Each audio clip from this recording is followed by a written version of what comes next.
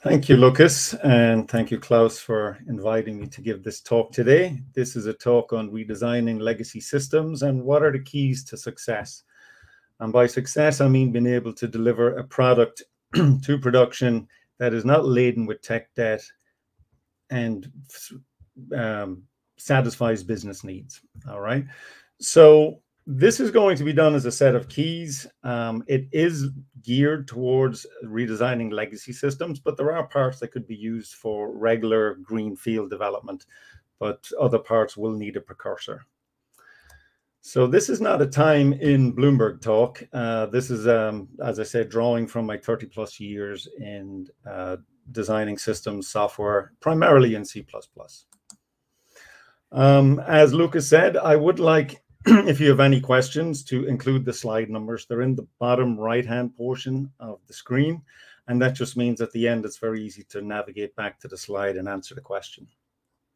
So without further ado, do, let's get on. I have a lot to get through. So what is a legacy system? Well, if you look at the Oxford English Dictionary, a legacy system says denoting or relating to software or hardware that has been superseded but is difficult to replace because of its wide use. And I think that's a real good definition because if it's not hard to replace, we wouldn't really talk about it. It just gets done. But for the purposes of this talk, I want to make it even simpler, right? And that it's just the current software in production. Now, you might say, hold on, we just put software in a year ago or a year and a half ago. But any software that's currently in production, no matter how new, a legacy clock has started on it. So it will start suffering over time the same problems all legacy systems do. And if we talk about what a system, a system is defined as in terms of a system, it's almost self-referential, a system of intercommunicating components based on software forming part of a computer system. And this talk is geared towards the, I'm going to say the lower end of a scale. So again, what is a system? It can be part of a larger system. So you can cut out a piece of a current system and use this on it and upgrade that part of the system. But for my mind, it's just a set of components that form part of a larger system. So it does not have to be the, you know, absolutely everything that's to do with some sort of transaction or whatever system you're working in. So the question does come up, what should we do, a full or partial re rewrite? And when we talk about a partial rewrite, I include ports uh, in that um, definition. So the benefits of a partial rewrite are that you don't have to understand the whole system as long as you've done some analysis of the flow of data through the system or how the transactional processing might be done. You can just focus on that piece of the system. However, you will have to budget or allow time for making this part testable. And that's what I think is something that's forgotten when we do partial rewrites. You need to be able to test and you have to budget for that testing. And a lot of time that will involve writing the testing up front and then proceeding with your partial rewrite port. Okay. Um, a full rewrite versus partial rewrite comes to a judgment call. Is the problem systemic or is it isolated to one particular piece? In other words, is there a problem with your database uh, handling? Is that the only thing that's that's wrong? If it's part of the whole system, you may need to start looking at a full rewrite. Either way, this can come from internally, where you believe it should be rewritten, and you campaign to your management and show some uh, facts of why this is the case. Or you know, someone says to you, "Hey, this system is causing so much problems over here; it needs to be rewritten." All right. So, however that comes about, you're told you have the green light to do a project rewrite. So we start with the project, and we're what was the first thing we're going to do? Well, we've looked at the current system. We say that, you know, it's got all kinds of problems. It's uh, it's really bad, and we can make this thing very much better. And we have these loft, lofty goals we don't quite understand the problem, but we do know that anything we could put in there is probably better than what's there. So we don't define the problem very well. And because of that, we'll agree to unrealistic deadlines. That means that, hey, we need this thing in, I don't know, nine months. Sure, I'll give it you in nine months. I have such a clear vision of what needs to be done. Um, and the next thing you're going to do is write a simple dev program. So something that's like a proof of concept like a hello world that duplicates some small part of the system or how you're going to have the larger system operate.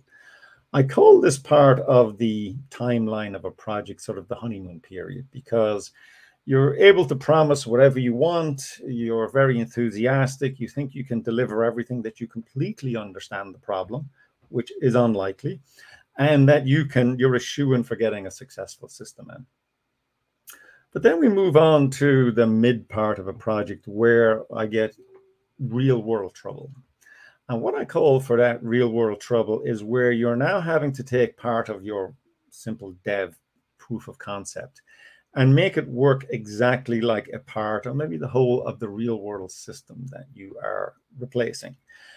This is when you find out that the, the real world is not so clean lines, that your design gets under pressure to be broken because it's a lot of edge cases. There's a lot of arbitrary decisions that were made. And now you have to try and duplicate that behavior, or you have to say the users have to get used to different behavior, which can be quite a lift. Next thing we have is scope creep. Because we haven't properly defined the problem in the beginning, and because we haven't saying, here's what we're going to fix, other than this is going to be better, and we've had a very simplistic view of what was going to happen. We're now going to get scope creep, both from the fact that you misestimated the complexity with edge cases and different workflows. So you now have to build that into your simple uh, initial demo.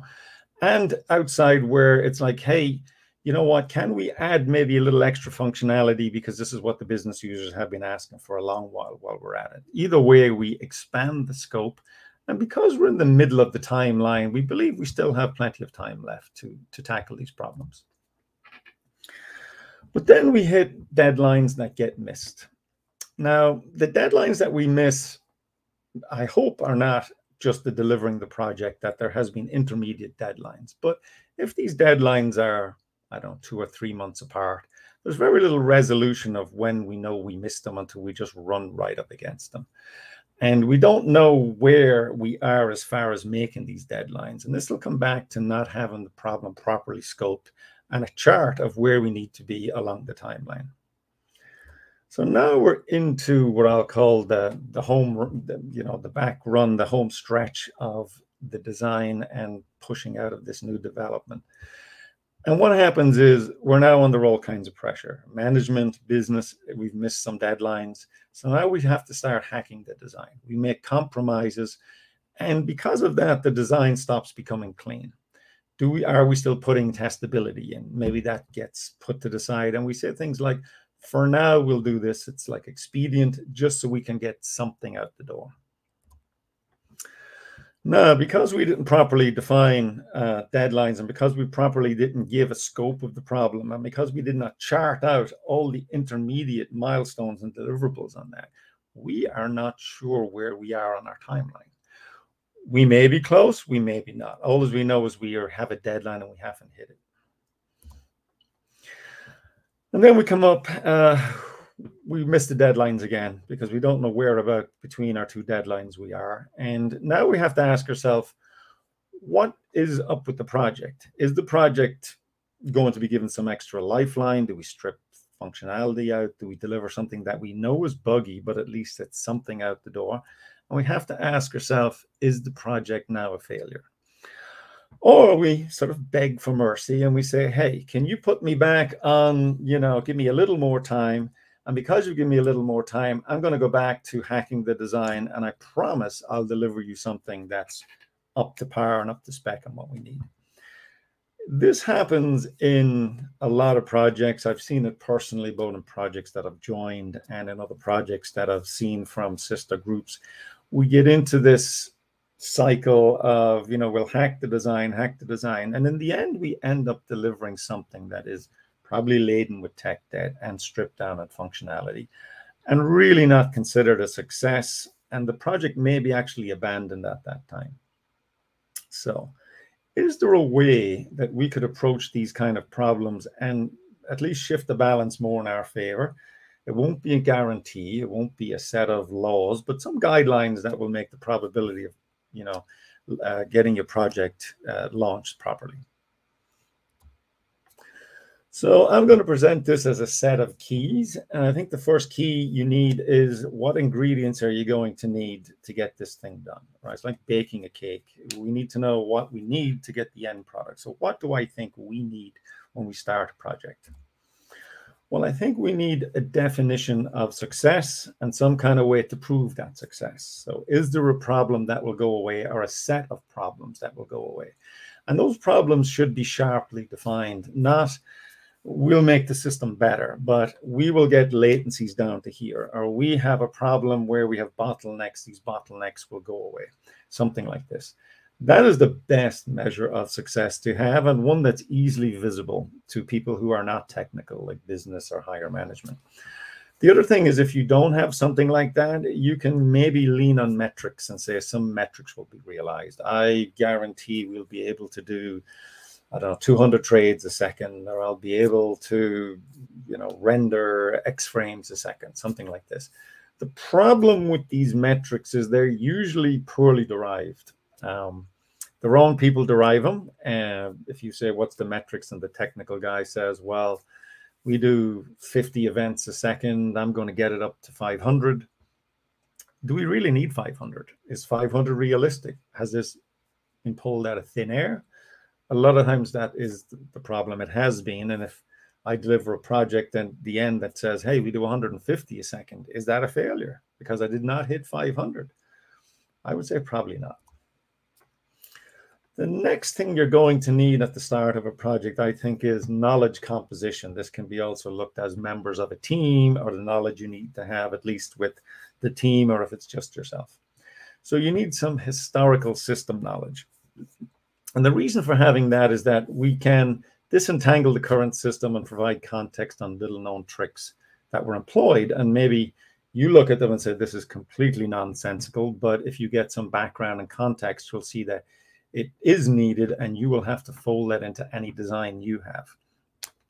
Uh, a philosopher, George Santayana, said that uh, those who cannot remember the past are stuck in it. And this is why you need historical system knowledge so you don't repeat the same problems in the past. I also think you need design architectural experience because if you have it staffed, your team staffed, they're the only people coming in on this are people who are from the old system and have been there a long time. Well, I said those who cannot remember the past are damned to compete it, but those who are stuck in the past are also condemned to repeat it. It can be hard to see outside a system that you've been in a decade plus, right? Uh, new thinking can be hard to come across. So you need some design architectural experience. Usually that's someone who has a proven track record, is seasoned, has, you know, proven successful at this before.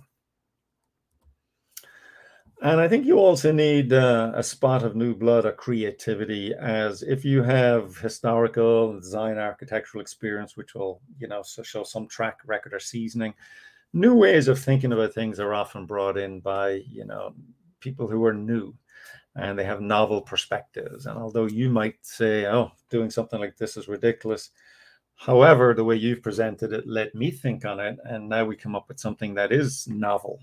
And you know it, it helps it helps. But what we want to do is create a vision of what we're going to have as the success and what are the initial components to try and get there. So this is when we start.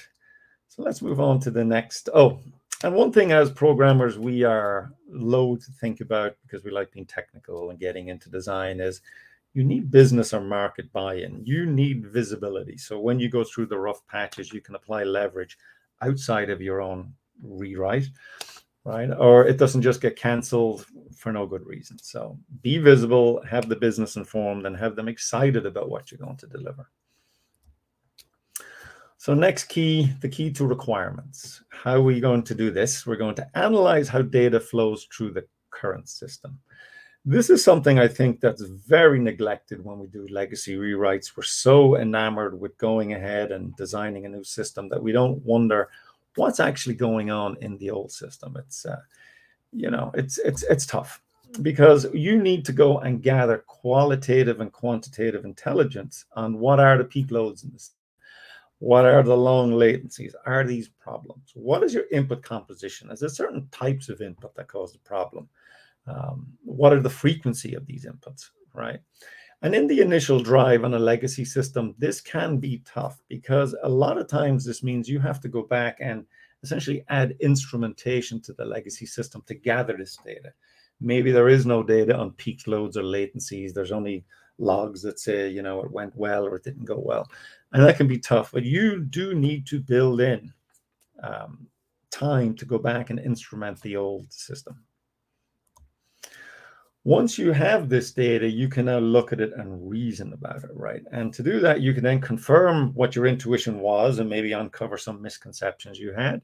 You can see maybe uh, what I've pretty much always found on transactional systems is that the largest volumes are the simplest to replace. They are the simplest, so lots of people do it. Uh, you can then apply your own tests and measures of values and base your design on maybe what is going to happen when with this kind of data flowing through a system. And again, you can find the pain points, right, which is probably in the initial definition of what the problem is you're going to solve. This gives you all the ammunition you need to hypothesize outcomes. You can innovate and implement implement your design now, map some strategic goals, and I, I can't stress this enough. I think it is the most underused design asset in a legacy system rewrite. If it's a brand new system, you have to take a shot, guess, or look at another system that's out there and base your design on what you think is going to happen. But here in a legacy rewrite, we can base the design on the data evidence. And that is so key to solving the right problems and not trying to solve non problems that you just think are problems because I don't know, that's just maybe a bias you have. So what's the next thing? We have to do the system design. Now that we have the data, we've seen where choke points, where problems are, we can now define the problem. We should produce a design. But the problem with a lot of design is we say we want to use a lot of implementation technologies up front, and now let me figure out the design. I have gone to many meetings on design proposal, and it's a list of buzzwords and how we're going to integrate them. And the actual design of how they fit together is secondary, which I think is the cart before the horse. So you produce your design first. Design, I think, is technology agnostic to a large degree. If I need a database, most any database can probably be worked into a design as long as I have a place that that's where I'm going to persist the data. Same with communication. As long as I have point to point, I can route, I don't know, requests. As long as I have some sort of broadcast, I can send it to, I don't know, consoles or displays. The inclination is to believe technology will solve systemic problems. And by that, I mean problems with the way the system is currently architected in the old days, you could say my system is slow, and if it was computation based, I'm just waiting for a faster CPU to come on the market. These days, we've kind of hit that uh, Moore's law, so we don't have that particular, uh, you know, crutch to lean on anymore. And threading is difficult, paralleling is difficult, and we have to design for that. And then the last point that I think you need to take a careful look at is that you're not mimicking the existing design with new technologies. And that's a big danger if it's people that are solely worked on the old system are coming up with the new system. So what do I mean by that? Well, let me show you an architecture here that uh, is very close to stuff I've seen uh, a lot, where we have something coming in from the outside. Here it's the, the FIX is coming in, so that's something we can't change. And we have some kind of preprocessor. This pre-processing task is going to take that data, essentially just put it into our own data format and send it on to the next task in the line, which is enrichment. Enrichment will reach out for all kind of uh, data to supplement the request, referential data based on what's in the request. Once that's done, it goes on to core handling, which manipulates the state, supplies transaction, does the core work. That is then persisted to a database, and then we broadcast this to the set of users so they can follow that transaction on their screens or in their application, whatever. So as you can see, this is very linear, very serial, and is, you know, let's say this thing has been having problems. And someone comes up with this as the design solution. So what have we actually done here? Let me just go back. So here's the old one. Here's the new one. And really, all that we're doing here is replacing one technology with another. We are not doing anything as far as the data flows through the system. Okay, I'm using MQ now instead of some sort of TCP process I was using before, our TCP API I was using before. I'm using Cassandra instead of some Sybase, Cassandra, you know, no SQL, very exciting. Lots of people talking about it. Uh, I use Kafka for distribution. Well, that's great, except for uh, what am I getting by replacing Kafka with Tib? I may be getting some side benefits, but am I really solving any problem in that system? I would say you're probably not. And you know, putting new in front of processes, I have a real problem with because it's new to you and it's new now, but 10 years down the road, you won't see, uh, no one will see this as new. So even if you're writing it from legacy to modern C++, that's just a language change. That is not an architectural change of what you're doing. So you really are doing a port here, which, like I say, if it's one part of your system that's causing the problem, maybe your TCP is a throughput issue, then MQ has a faster throughput. It, it works, maybe. But did you look at the data flowing through the system and ensure that's the case before you came up with this architecture? So again, don't mimic the legacy system. And things to keep in mind are underlying technology replacement is usually not the answer for systemic problems. And while using the latest technology is nice, it should be at the end, not at the start of the design pro process. Okay.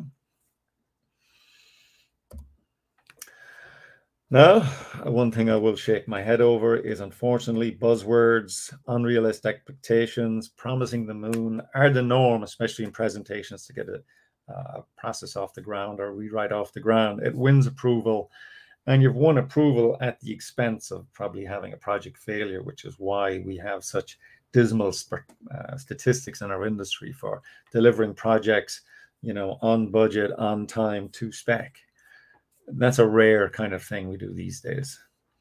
So anyhow, uh, moving on.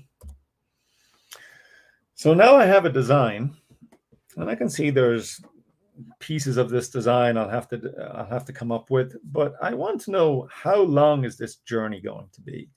And the only way I can do that is put down markers in the sand, which I call deliverables or milestones to tell me where am I on my timeline.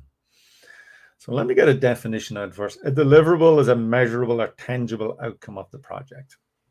I can say, look, here's a demo. I can show you, you can see it, you can hear it. It's something that's not theoretical. Uh, milestones are checkpoints throughout the life of the project. They identify where we've hit some kind of notable point. In other words, all of this has been converted over, or this now piece of the old project is retired. This is completely replaced with the new piece. And then we have tasks, and tasks are really important because this is going to give you the resolution of how you're going to be able to look at the um, how far along you are on getting your product to, out to production. So they should be attainable and realistic. In other words, they should be something that you can actually do, you can actually see it, and it's going to be easy to demonstrate it observable, right? That's a deliver. So let's have some deliverables where you can show what's been done, additional functionality. Look at the load. I have extra load going here. The characteristics are a lot better than the old system. charitable So for that, I mean the resolution on these are low. So they come down to three to five uh, days for any particular task. If you just say, I'm giving you this product in nine months, I can probably guarantee you that's probably not going to happen and I won't know till the very end that it's not going to happen. If I have all these deliverables and milestones charting my way through getting from the start of the project to the end of the project, I can say I am halfway through the project and maybe 70% of my time is gone. I can now inform the stakeholders of this project. This project is not going to come along in the next two months. I'm actually going to need five. But telling them beforehand and a lot beforehand is a lot better than telling them a week or the day of that I've blown my timelines. So again, having them chartable allows you to forecast better and keep your stakeholders apprised of where you are. And uh, if I would say one thing about this is that this allows you to look at functionality or your code metrics and say where you are along the timeline, right? I always say to say to people, it's functionality, code metrics over feelings. It's it's not original to me. I heard it someplace else, but I lots of time people say, "Oh, I think things are going really well. I, I feel they're going well." Okay, pull me out your timeline, show me all your deliverables and where we are in time and functionality. Now I have a lot better confidence that you're telling me what's actually going on. So moving forwards, uh, how do we keep this stuff? So we now have a design, we've charted deliverables, people are out there coding, right? What are we going to do to try and stop the same thing happening in our code base? Well, we want code quality. And as someone said to me, quality is the result of consistent incremental improvement. So we know what we're trying to do with our deliverables and our milestones. How are we going to get there? Well, let's have some quality in our code. So we have to realize it, right? Realize that iteration will, you know, get to where we need to go in a saner manner than trying to do everything up front, completely define the scope up front.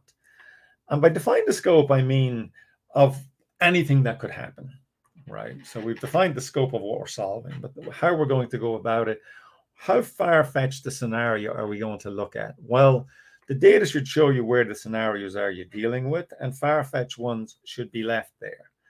The, the other problem is um, we will get some scope creep. And that can happen again because we have uh, we have misunderstood the complexity of the problem. But it also comes uh, um, in when we're doing the code and the development where we say, hey, I'm going to write this class or I'm going to write this function and it's going to handle what we need it to handle. But you know what? Down the road, we're going to have to handle X, Y, and Z as well. So let me take this thing and make, I don't know, templatize it or make it a whole lot more configuration driven, soaks up time, soaks up extra testing, and you've just let your scope creep. So your timelines are now in jeopardy again. So resist scope creep. Small tasks that overflow the time boundaries just means that you misestimated its complexity. Here, I thought this would take three days, but after three days, we're only a tiny way in. We'll then make it a spike and break it up into multiple tasks that can be dependent on each other. The real world is messy. I say this a lot when I'm talking to people about design. The real world does not follow clean lines, does not live in a lab. So you have to struggle to adhere to design goals and your overall vision. When the real world gives you something that's difficult to incorporate into your design, struggle to incorporate it. Take time. It can be difficult, but there's usually a way. However, if you find out that there is no way, you've talked to people, you've done the test, and I say the design has a terminal match with reality, then you must evolve the design. The design needs to change.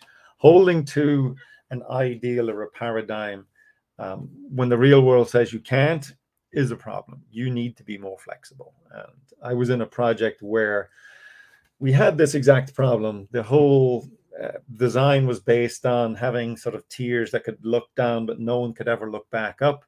A really nice concept. I was actually in the driver's seat where I showed that I had to break that particular um, paradigm, and it was met with a lot of resistance. Um, but once I proved that it needed to happen, people were like, "Can we hide the dependency?" Because we had some checkers that would check that you aren't looking back up, and you know, by using void pointers or, you know, type erasure. And I think that's just the wrong way to go.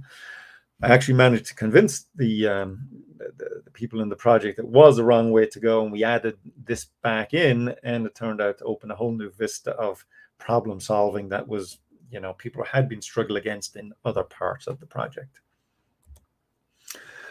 But when you are moving forward, do not make the same mistake that is likely done with the legacy through lack of testing. You must maintain code quality through testing, whether it be unit or system testing. Nothing should go, get through a review without a unit test testing that change or testing that new piece of functionality. You should also look for system testing. Unit testing is not the be all and end all. It's great, but it by definition just checks a very remote, simple part of the system that's isolated from everything else. When you put everything together, new problems arise. So budget for it and make sure it happens. Don't come back and say, now we have to add the testing in. So given that iteration is the key, how do we identify these loops that are critical to hitting these target dates? Well, what are the iterative feedback loops? I think they there are more, and in the expanded version of this talk I gave at ACCU, I talk a bit deeper into it. But I look at it as unit testing. You know, runs immediately, gives you feedback in minutes. Automated system integration testing. You know, that's maybe 15 minutes, half an hour. Code reviews. Hopefully, we'll catch stuff, but it takes a day, maybe two days when you're making changes to catch it there. QA will depend on your schedule and if you have a separate QA group. Uh, mine is, I think, a weekly or bi weekly schedule. And then alarms are happening whenever they happen in production usage. Well, that can be days, weeks, or months down the road. But when it happens, it's usually unpleasant and there's a huge uncomfortable feeling of urgency and responsibility. So, if any of these are left out, so I decide, you know what, automated integration testing is now a priority for me then where is my problems going to migrate up to? Well, they're probably going to migrate up to QA, meaning it's now a week before you're told that the problem is there, maybe another week to fix it, and a week for you to for a week for them to check it's fixed. Now we've just had a three week problem, right? We've now ballooned out our iterative loop and killed the productivity. If it was pushed back into integrating testing, we would have got it in 15 minutes. And that is another thing. If a QA or automated testing, or God forbid, production, uh, finds a problem, we should try and push the test for that problem as far, you know, as far down this loop from production. Well, actually, it would be up here. So try to push it to QA, so QA test for it. Try and push it into your integration testing. And if possible, is there a unit test that would catch this? If there is, magic. I don't want to say, well, QA caught the problem so my whole testing system is fine. It's complete. It's not. You want to catch them early. So catching earlier is what gives you productivity. So you also have to ask, are the tests in the right iteration group, which is the shortest turnaround? Observability or understanding system health. When I put this thing out in production, how good is this system going to be reacting to the normal day-to-day -day operation or loads that's on it? I don't know. My responsibility doesn't end by pushing it into production. If it's buggy, if it's a lot of tech debt, if it doesn't perform a particular task very well, well, then that's a problem. So what I want to build in is some observability. And that means I want to alarm on bad errors. Bad errors are surprisingly hard to uh, nail down. So what is a bad error? A bad error is not when the user cannot do something. So I, I, I don't know. I tried to withdraw 100 dollars out of my bank account, but I only have 50 and I get error, you don't have enough money. That's not a system error. That is proper behavior, successful handling of the interaction. Intentions not met are bad error. I mean, if I actually gave hundred bucks out in my system when I only had 50 in it, that would be undesirable outcome. And it's not due to the user. The user is free to do whatever he wants to do. Right. The other thing we're pretty good at is checking if processes are down or if it's you know doing multiple restarts or even if there if it had if it's frozen, we might have some heartbeat processes that could check to make sure if a process is up and not doing anything, we get told before people, you know, our customers start telling us. Or that the dependencies are unavailable. So um, I don't know, I can't access something off the network. But the other kind of alarms, which I think we are much need much more improvement on is using metrics and the meaningful metrics, uh, cresting watermarks. And what do I mean by that? Well, if I have uh, events coming through a system and I'm having to retries to get some resource, it eventually comes comes to me, but it's happening every so often and slowing down my time. I should have alarms and stuff like this. If my latency over a particular time goes up above X, I should know about it, right? I don't want customers complaining to me, hey, the system is slow. I want to get ahead of it. Uh, other thing is where resources are being consumed. Uh, you know, my processor uh, usage has gone above 80%. My queue size is utilized over 80%. Um, if this is not normal, this is new, well, then something has probably gone rogue and I should get to it and kill it as soon as possible, as opposed to letting it get to 100% and taking the whole system down. Now, people ask me, putting in these kind of metrics, is it applicable to a smaller rewrites? I say yes, it is. Otherwise, how do you know how a system is doing? Eyes on glass or having someone in front of your metrics and looking at dashboard is usually a poor way of catching a problem because someone won't be there at the right time to look at this. So you should have observability built in uh, these days. I think where in the old days we used to say you could skip uh, unit testing, we didn't really need it. Now we know we do.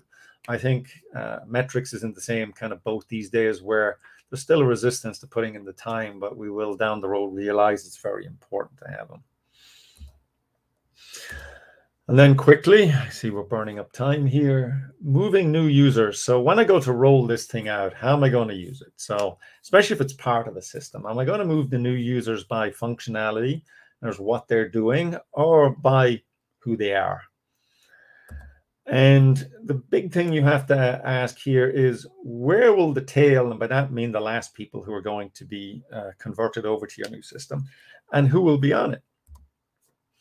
If you partition by function, you will generally pull in large multi-method clients sooner and see large benefits realized. Um, and that's going to be a big win when you show business, when you show management, and that's going to allow you to get more resources and more time to take these other more difficult problems on board and drag them in because you've proved to be a success.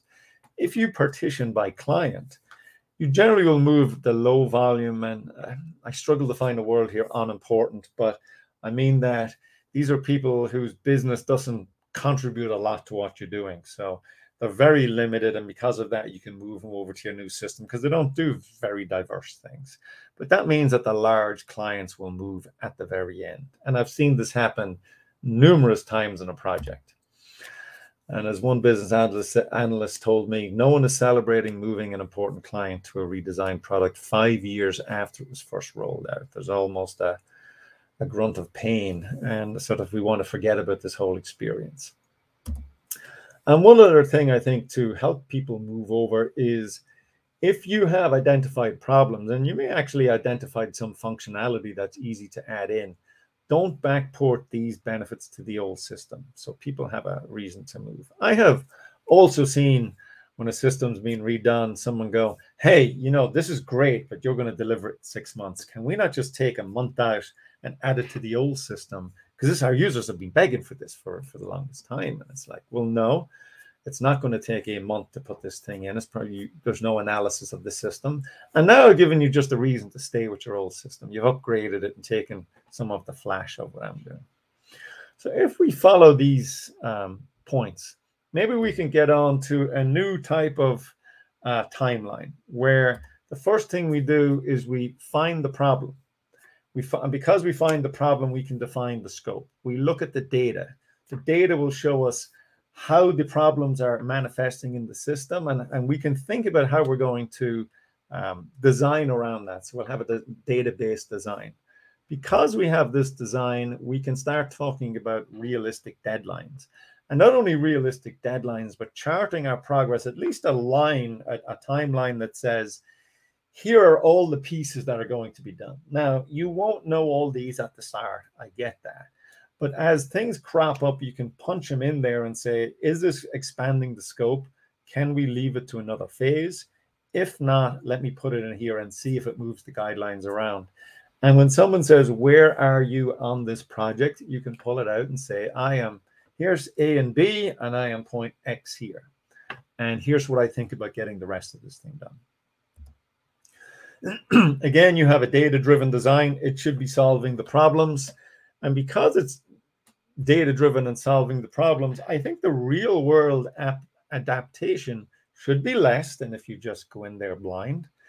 And you're going to be resisting scope creep because, again, you have a defined scope of this problem and you're just making the real world adaptation for your defined scope.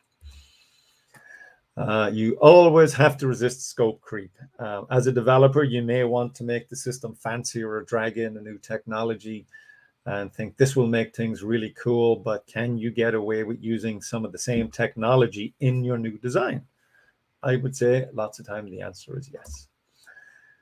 So we have milestones that are targeted. Because we're on that timeline, we should hit the milestones or be able to give people plenty of advance notice that we are missing this milestone and it's way down the road, but it looks doubtful. It's probably going to push out.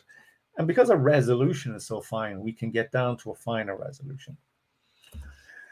Uh, we keep on adapting the design. All right, real world is messy. There will be edge cases we haven't looked at. Uh, do we have to handle those? We keep adapting design. And if there's a terminal mismatch with reality, we evolve. Is the progress on track? I have a timeline. I have all this, these markers on it. I can tell you if I'm on track.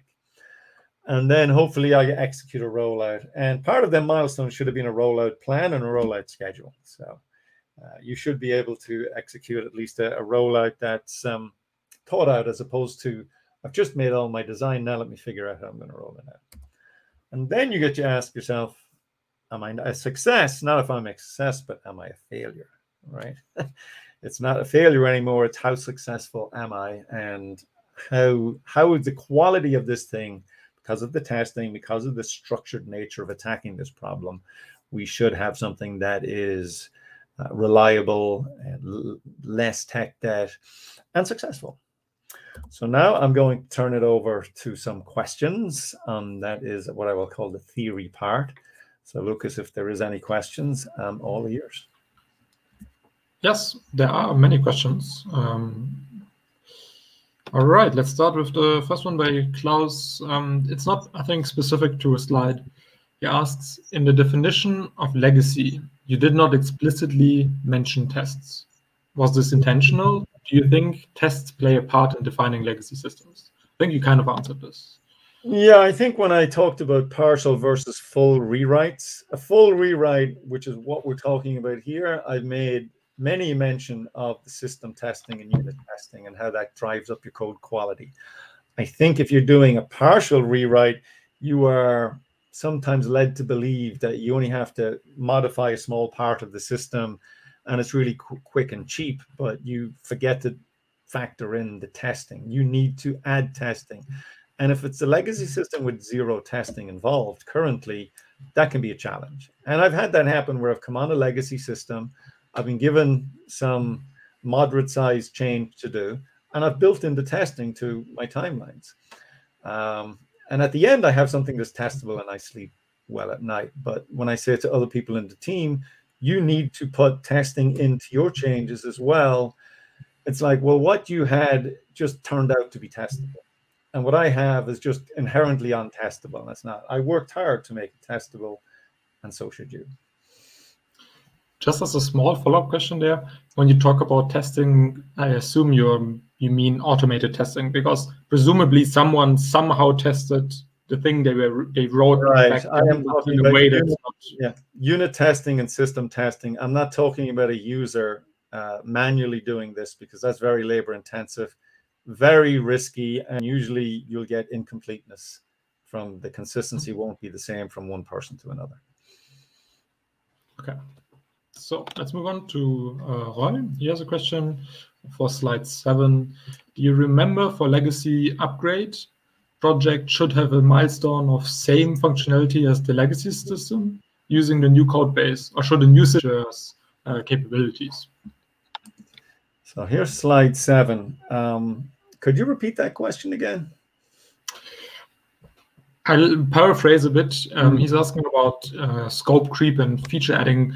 Uh, some people in chat also mentioned they find it difficult to get uh, refactors uh, greenlit by management if they don't promise new features developed in parallel. So like, should you add new features while you're refactoring, or should you somehow separate them? You I hope I understood the question. You should try as much as humanly possible to resist that. You can say, look, once I get done with this phase of duplicating, the very next phase will be adding this extra functionality in um, it can appear that you can just add it in, but that's the kind of scope creep that will kill your your your your timeline.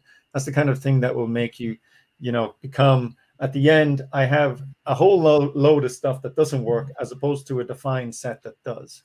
And I think creating phases of updates to a project is a way to convince management that it's not that bad. I'm going to give you exactly this in this timeline. And then, you know, for the next two months, I'll work on this new feature. I said, otherwise, I'll have to say it's an eight month project. But why would you want to dilute your deliverables? Right. So that's how I, I have handled it in the past. So, like, feature parity is a concrete deliverable that should be communicated to management. Yeah, and it doesn't even have to be feature parity. There will be other stakeholders, and I've oftentimes found that there's large blocks of code that are dead in there that potentially you could put something down and you nail down. It all comes down to what is the problem.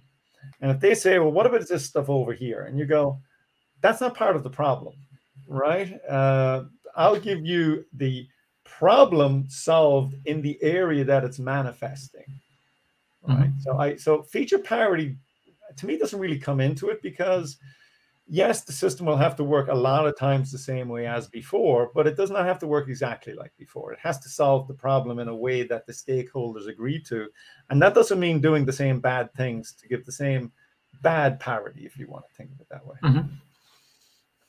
But that, like one last question here, uh, follow up. But that assumes knowing what the stakeholders want. Okay, so if you don't have the stakeholders involved in this process, that's why we have a lot of failures. In other words, I think I know what you need. I think I know what your problems are. Um, let me just go off and do what I think, and then I solve non-problems and enhance something you don't care about. Right? The stakeholders have to be involved. It's it's a pain, but you need to involve them as far as defining the problem. Right? In other words, here's the problem here's my proposed solution to the problem. Here's the data that backs all this up. Are you comfortable with this? And here's the timeline. And if business goes, okay, great. If they push back, then it becomes a negotiation, right? Time, quality, and feature set, right? Quality, I don't think is one of the negotiables. So it's time and feature set is what you're going to debate about. Mm-hmm. Then um, uh, Benrian asks for slide 15. Okay. It, like that's essentially don't do a Nicola. Like it's more of a statement, I think. Um, I'm not even sure who who's mentioned who's meant with that. Now that I read it again, it doesn't even seem like a question. So uh, maybe let's just move on.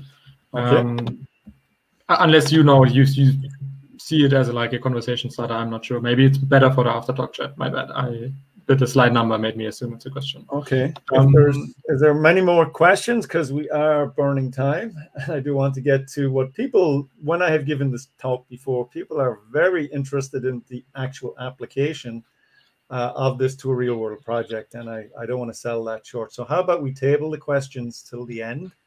And I move on with the next piece, which is a case study in using these. Now, again, this comes from one of the uh, I, I, worked it out. I think I've been on 15 different projects in, I don't know, 12 or 13 companies because I was a consultant for 21 years, um, roughly a two year tenure in each place. But it allows me to see a wide variety of what's used and what's done in various places.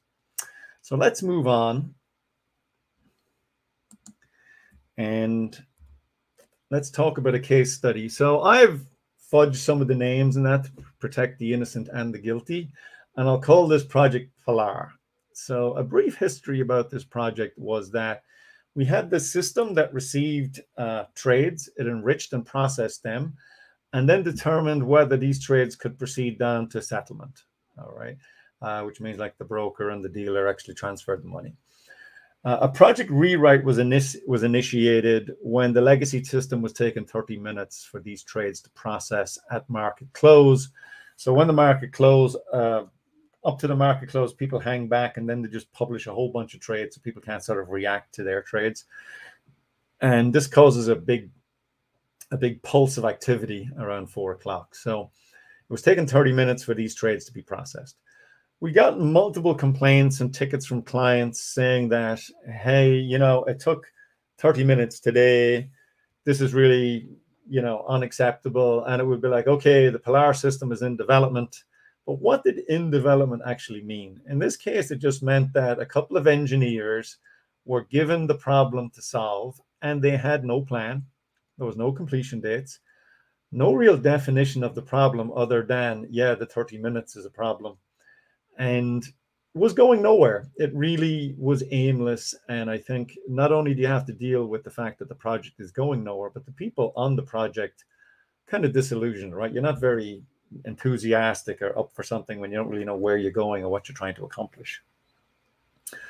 So, uh, although I used most of the steps here, I have to say this was before I sort of formalized these steps down into a set of keys, but I seem to follow them sort of by instinct anyhow. So, uh, let's continue. So, what was the key ingredients from things we'll need?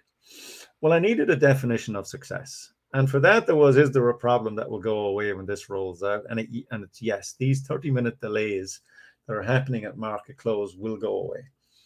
Uh, that was a very broad statement, and I can really not make too much more of a statement on that until I get in and look at the data flow, which is going to come later. What about the team composition? Well, initially, the team had a long time legacy system maintainer. I think he was there 13, 14 years. So he knew the legacy system pretty intimately and had, um, you know, done a lot of the code changes and knew a lot of the reasons of why there was some very strange code. Others, some were defendable and others were not, right? I had a brand new guy. Uh, I was in there less than a year but uh, that's my new blood. Uh, I got my historical, and then there was a guy. Don't, middling programmer is not talking about his ability; it's talking about his tenure. So he was there about three plus years, and then there was myself. Um, I think I was there about two years at the time when I did this, though I can't be quite sure. And um, to me, I had a lot of what I needed. I had the historical knowledge with the the legacy and the three plus years guy. The new guy added a lot of, hey, what about these technologies? What about this? And myself, I thought I supplied a lot of the architectural design experience that was needed. But, uh, and I was running the project uh, as well.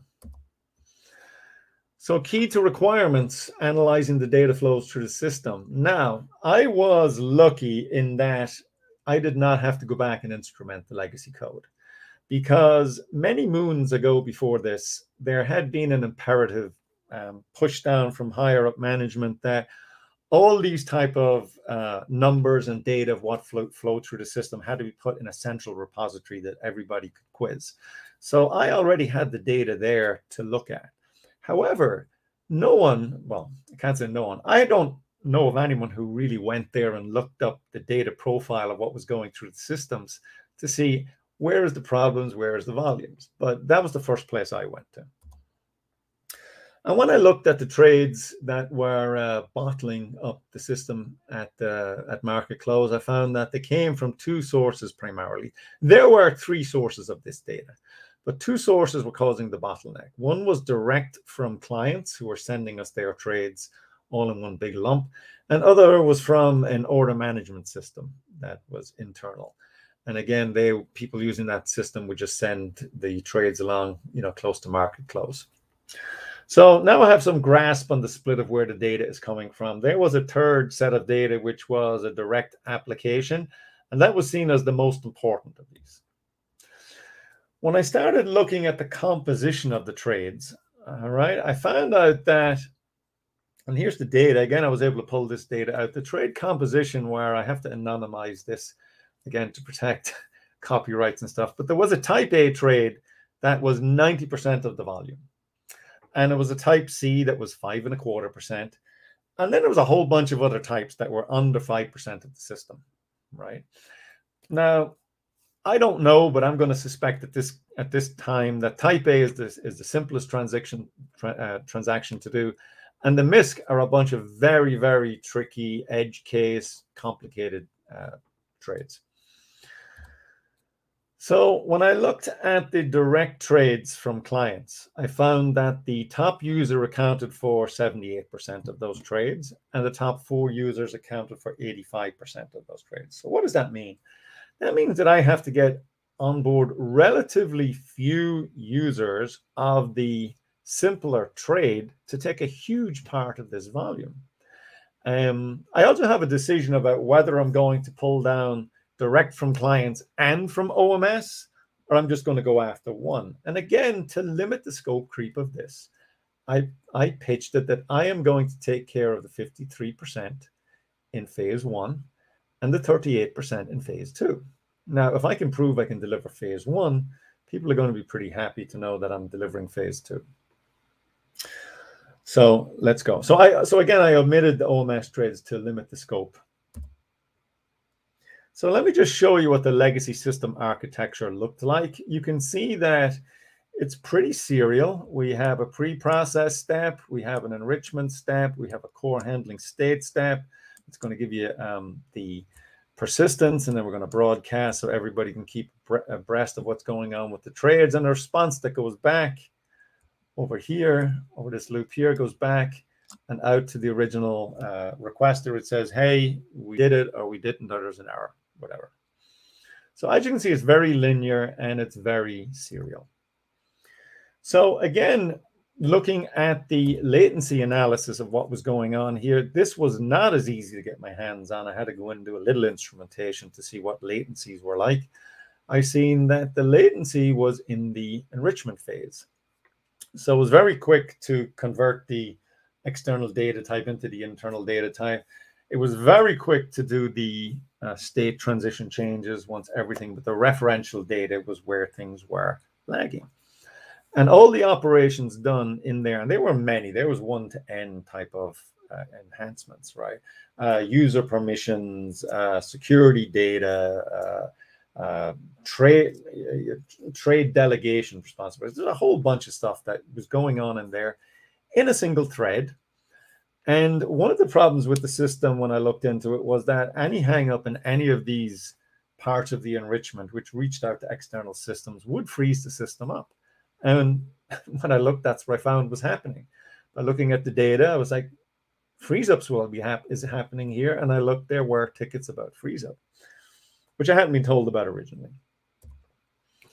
When I looked at the peak time analysis, that I seen that the throughput also lagged due to what I'll call stampeding volumes or throttling. So what was happening was, like I said, there was three sources of data. So source C was seen as the you know, the direct premium thing that had to be kept free. And it had a timeout of a minute. And at four o'clock, when the system was lagging out, it lagged over a minute. So this thing would uh, come back as an error. And that was seen as something we don't want on our source C system. So the other two systems were put on a throttle. And they weren't put on any kind of variant throttle. They were put on a throttle that was there all day, every day, no matter how busy or how light it was this is we're going to allow it to do only X number of trades a second. So that was also something that I was surprised when I looked in uh, analyzed the data. And then I also found there was a secondary problem of because the, there was such lag that duplicate trades would be sent to the system. Right? I send a trade, I don't get a response within a minute. Let me send another trade in. You know, if I'm on a system, I'm mashing the button saying, "Where the hell is my trade?" But that was due to lags. They would get rejected, but they were still load on the system. So I came across a last snag, and this was something where there was some attribute inside of a trade that said that this thing could possibly need manual intervention. and that was a system that was far away from where I had where I was. I had no pull, no ability to get them to make a change. And they were in what I will call the older part of the group and more settled in their ways and not willing to do the change. So again, data analysis to the rescue. So we had uh, this data pulled it out of all the trades for a month. How many of these trades I'm looking at are manual? And I found that it was 2.48%. You can see the actual numbers up here. Now, when I backtracked these 2.48%, I could found out, as I suspected, manual trades, a high volume user is not going to want manual intervention. None of the high volume users did manual trades. So it was for small, small time, very low trade users that probably have been there a long time. But I was able to exclude them from the scope of the project. All of a sudden, this snag goes away, doesn't affect my timelines, and it kills an external dependency that I'm pretty sure would have killed me. So, in summary, the simplest trades have the largest volume and the few fewest clients. So I have targeted my win. I have now, I can now go back and say, here's the problem scope. Here's what I'm going to fix. Here's the problems in your system. And now I have a very defined scope. If you try and change the scope, I'm not going to let you. That's the first one. And if I'm absolutely forced to, it's going to involve some sort of time change, right? Next, designing. So now I have all this data. What about the design? Well, what happened with the original approach was that it was uh, legacy guys, I'm going to say, that were driving the design, right?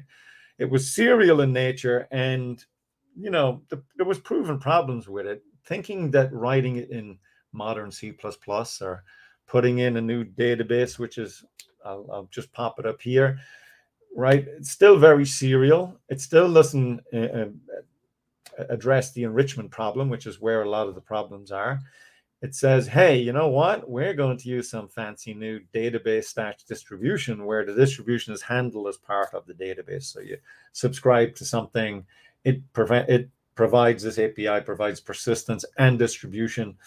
And it's new, so it's got to be great. So that's going to solve all our problems. Ah, that's right. No, it won't. This is, I'm almost 100 We didn't, they, they had gone down this particular path. And what they had done is they had actually taken the old enrichment process and just ported it over and sort of bolted on some uh, data mutation and transportation between the process and the core handling, right? And even the pre-process had a lot of cut and pasted code from the original preprocessor. All a mistake and all easily done if you are trapped in a that glass box of how this system has worked and you haven't seen or you know, maybe you're not the creative guy. I don't know. So I came along and I, after looking at it, said, hey, we need to address the problems. And my problems are the enrichment process mainly.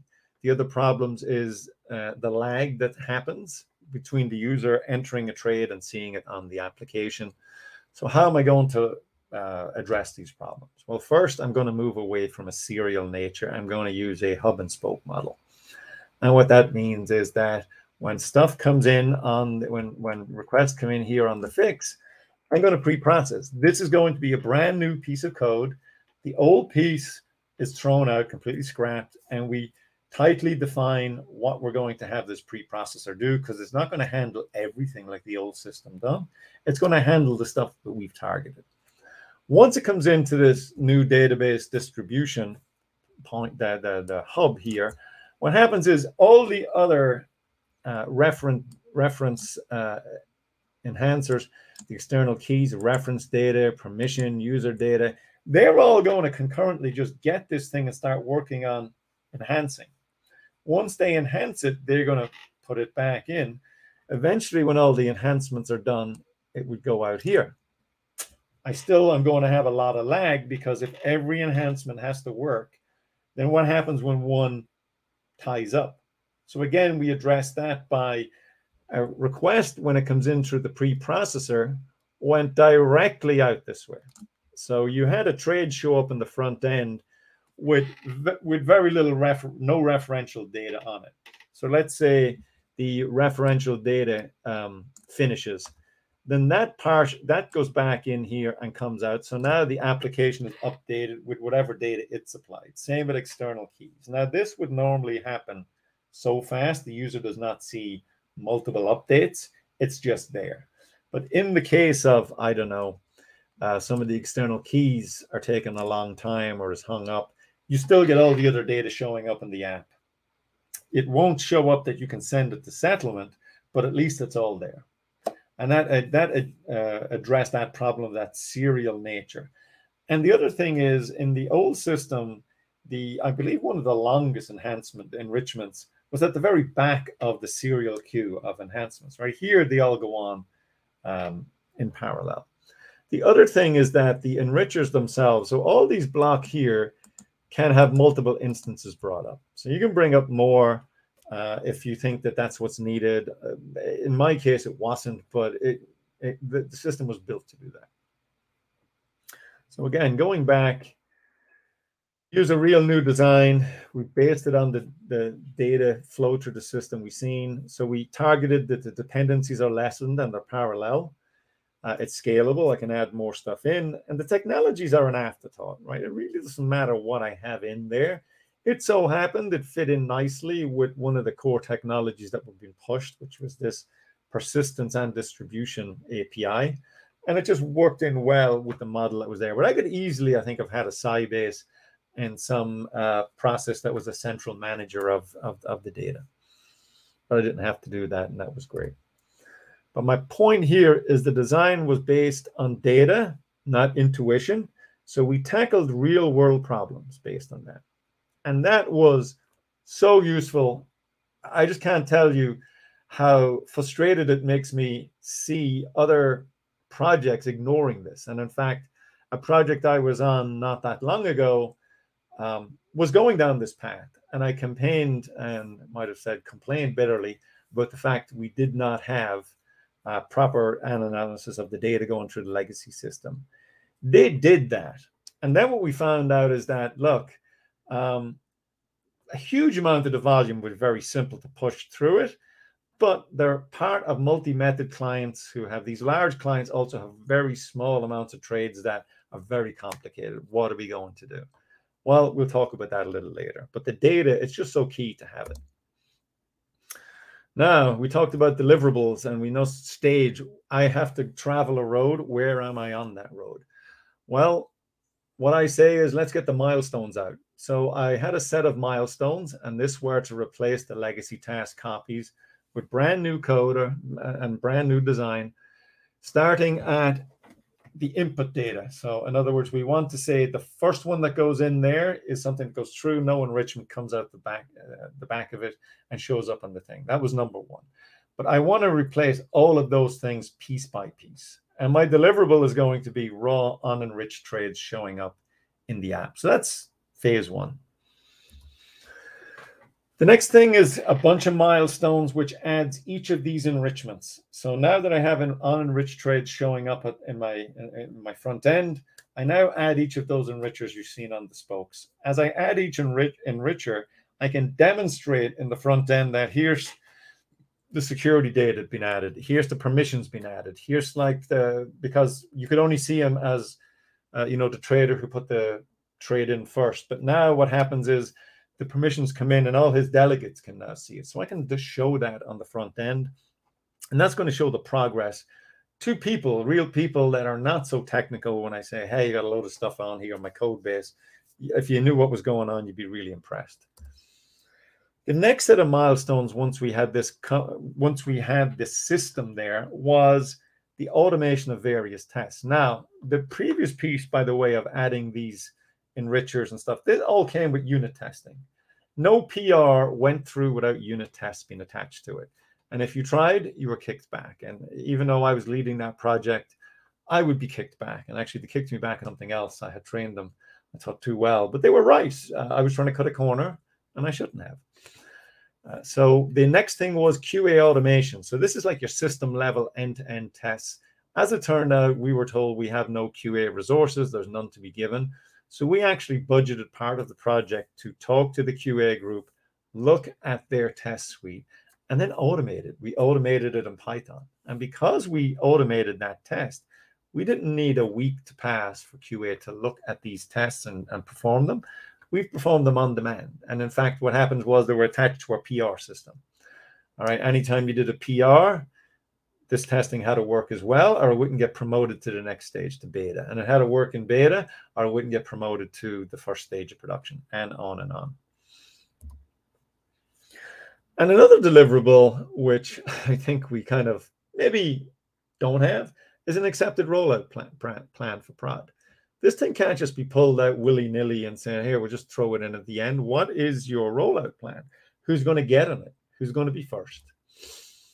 And then the, the next deliverable is the actual code rollout and the, the timetable for turning clients on if you're not going to put them all on at the same time.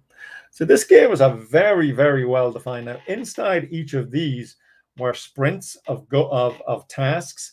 And these tasks gave us either we misestimated the complexity. So this thing broke out into two or three tasks, in which case, how does that affect our deliverables? Right? Or we were able to absorb it, or it's something we're already taking care of. Great. So moving forwards, iterative adaptive improvement and code quality. So we had frequent design reviews. I always called them cutthroat, um, especially new tasks and refactors, because it generally cleaned up the initial code by 50%. So some of that was to do with, you know, not doing it quite as correct as it should, but a lot of it was to cut out that bloat that, oh, down the road, we're going to have to handle this. And it's like, yeah, we're not handling it here. Or what would ever happen if we had to plug the old system into this? It's like, we are not, and that's not part of our scope. So get rid of it. So it cleaned up, I'd say about 50% of the code in any design review, as opposed to a PR, which is a change of code. This is kind of a generating.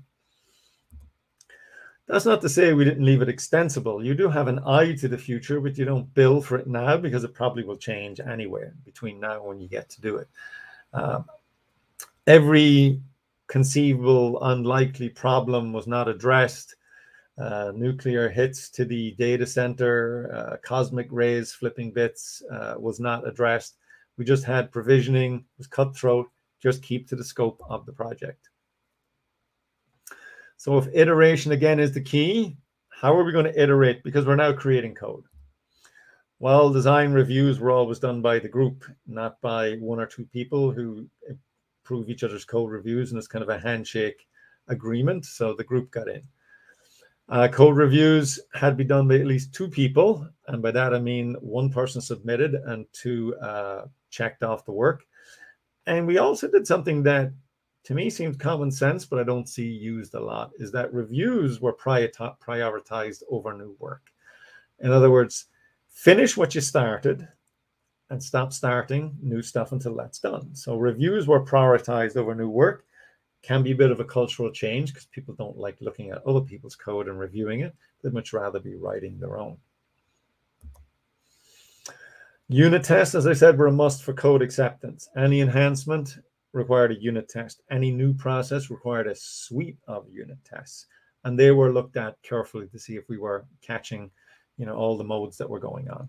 The QA automation, even though it was an imposition, was actually a godsend because automation, this is something that should have been done on the uh, on the legacy system and actually went back and like uh, did the exact same thing on the legacy system. They automated a large chunk of the of the uh, testing, so that was just something that fed back. But we were again able to limit scope creep, keep the code quality up, and we had to now look for observability. So what did I have in terms of observability? Well, I did have basic system health checking where, um, uh, you know, is the process up, right? But I did not have any telemetry on raising an alarm if the requests peaked over a certain time of latency, if the volumes went over a certain time. Uh, I will say in my defense, this was a number of years ago when telemetry was not, there wasn't an API, there wasn't something easy I can grab. These days there is.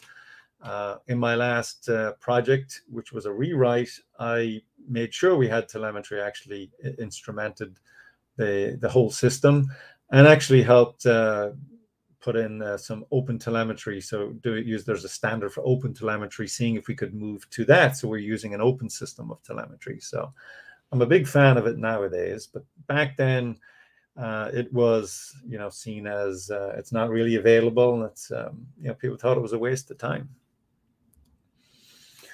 And then moving the functions by functionality, not by entity. Well, due to data analysis, uh, you know, large clients, we targeted them right? Uh, now, that's not to say we went straight to a large client. We didn't. We said to the large clients, uh, we're coming, but we would need to use smaller clients first. So we have these kind of, I guess you call canaries, right? Where you bring them into the coal mine and see how they do. So they were checked first and seemed to be successful. And then we could schedule the large clients being moved over. Now, after eight months approximately of work, and like I said, this thing had stalled I Remember, prior to this, this thing had been started one and a half years beforehand and had stalled out and was making virtually no progress. So after eight months of structured work, we had a successful code rollout to production, but no clients were sent, had the trade sent our way because we had a dependency on another team. So we're think of it as we're a sink of data, right? Someone has to send stuff to us. We're not we don't generate it. And that needed some relatively modest changes, I would say, about two to three days work in a in a sister team. And they just thought, you know, did not feel like doing it, said they were very busy with their own work, which I can understand. So what do you do? Well, if you don't have visibility and you don't have market buy-in, there's not really much you can do. But as luck would have it, and it's a strange kind of luck, the wait times in those eight months had increased, I think, up to about 40 minutes or even longer. So where before it was like there's a system in development that kept people, you know, at bay, this caused people to scream. And the largest client of them all made a direct complaint to senior management, and I mean senior. And that just came down as why is this problem still available?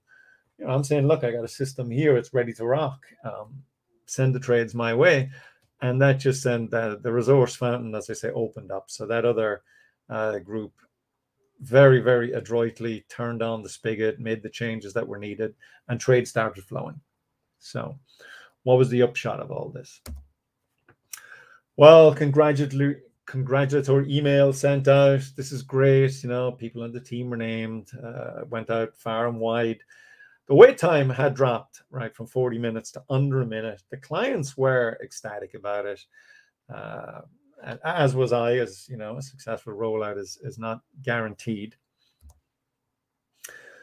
But if you remember, I had partitioned off the OMS trades and say I will pick them up in the next iteration. So is that a false promise? No, they were picked up in the very next iteration and they fall through they fall through that system now. And again, that system is very, very happy. All the lags are gone. So, you know, it's a sort of happy ending. However, I did not put any observability in. I did not put metrics. I do not have watermarks telling me how much my my system is is uh, is under pressure. Are, are, we close to hitting a brink or something? Um, years later, it's still running. I reached back to the uh, the technical lead who owns that product, and I asked him about it, and he, you know, his response was, um, "Yeah, I mean, we don't really do much with it because it's a well-behaved system. So, I mean, yeah, it's great." Uh, we touch it only occasionally. So does it now need a rewrite? I don't know, maybe not. I would certainly be more, um, you know, confident in saying that if I said, you know what, the latencies these days never crest above, I don't know, a minute and a half. And the volumes are, you know, X, and we're able to handle that easy. So again, what are the keys? I'll just summarize to uh, redesign a legacy system. Key ingredients are having a definite measure of success, having the proper knowledge composition for the old system, analyzing the requirements is analyzing the data, how it flows through the current system, locate the problem, and then design your solution. Key to design, produce that design first, base it on the data gathering and the flow of information through your system, plug in implementation technologies later. Underlying technology replacement is usually not the answer. If I have time, I will tell you where I have a project where it is the answer, but it's generally not the answer. And then the key to charting the progress, the key to be able to tell people, are you on track? The key to be able to give a long range forecast and say, hey, three months from now, I won't be delivering, as opposed to tomorrow, I won't be delivering, is to have deliverables, milestones, and tasks where the resolution goes down to about a couple of days or a week. Keep them short because that's your resolution on how your timeline is set up. Move forward with iterative adaptive improvements, and that means adapt your design, but struggle to adhere to the goals and their overall vision real world will put pressure on you to hack your design. Resist it. When you have a terminal mismatch, you need to be flexible and evolve. Now, that can be seen as you need some experience or you need to have some, it's a judgment call, and that's true. And hopefully, you have some seasoned people in there that you can at least ask these questions of. Delivering the product is iteration, identifying shorten the feedback loops, code quality, have your unit testing, system testing, make sure you push the tests as far down so that they're the shortest loop possible to keep that productivity up. Um, it, one other thing that can kill your productivity is where you're iterating where you're getting information from a loop uh, in the loop from someone in a different time zone. So a team in London is giving me in New York, hey, I have a problem. And I go, that's not a good definition. So they, those kind of loops are, are, are terrible to, to work with. So keep them short. Uh, to know how this thing, once you push it out, how it's doing and how it will continue to do, have meaningful metrics and alarms on those metrics. Do not rely on someone going in at four o'clock every day and taking a look because it just won't happen. Over time, it'll drop away. And when you're doing a successful rollout, move new users by functionality, not by entity, because you're going to pull the large multi-method clients over sooner. And in fact, in one of the previous projects, we ended up taking clients and putting them into logical work clients. So there were groups within a company that do all the simple trades. And there's another group that does all the very hard ones that we don't have in scope. So we move that logical client over and leave that other logical client behind the user, but it's a way of pulling large volumes over. And once you have a large volume going through your system, you are verified as someone who is delivering product, and you will get a lot of political goodwill capital, whatever you want to call it, to go ahead and do more of the conversion and bring the trickier stuff across. Okay. And again, a key intangible. So what is the key intangible? I say there is a certain amount of luck involved. In my case, it was the the client complaining just at the right time. Um, you know, luck is something I would rely as little as possible on. There will be little pieces of it that show up here and there, but the whole idea of these guidelines or these keys is to prevent you having to rely too much on luck because that's your luck bucket will run out at some stage. And that's it.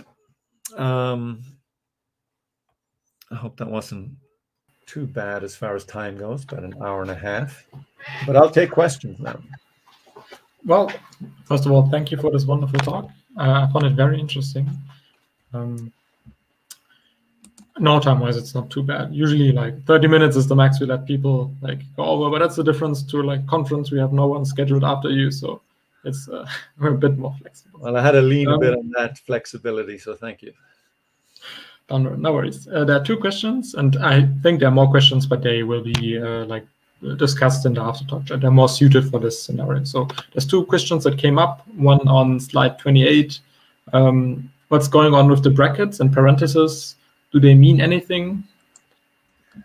Um, it's slide 20. I don't know how to pronounce the name. Xadil Lakal. I'm not sure. Ask this question. So I have um, slide 27 and slide 29. So I don't have a 28. No, 28. 28, I think. There is no 28. Oh, okay. Well, then it, I'm not It's a hidden slide from the expanded talk. So. Okay. Well, the, maybe there's something on, like maybe the, the next slide. Can you show me the next slide? Maybe they missed it by one or so. 29. So this was about trade composition. Hmm. Okay, maybe wh whoever asked this question, please come in after talk chat and ask directly. I, we're kind of lost with the question. We don't know how to answer it. Um, the next one is uh, by Twitch SDR on slide 40. How do you keep track of open points that you need to fix later? Uh, so I would do that with scrums and sprints. All right. So an item is put on the backlog and pushed back into the backlog for later and gets prioritized. Um, so to me, though, limiting the scope and it becomes again a bit of a judgment call. So I can say this thing is really a phase two or a phase three item. Okay, but we want to capture that now. Okay, fair enough. It gets tagged with a label phase two and put in the backlog, right? And then it, it can't be forgotten about. Someone has to go and either ignore it or delete it. What would you say how big your backlogs were usually when working on this project, for example? I know my backlog didn't get too big because of the scope was so tightly defined in that particular project.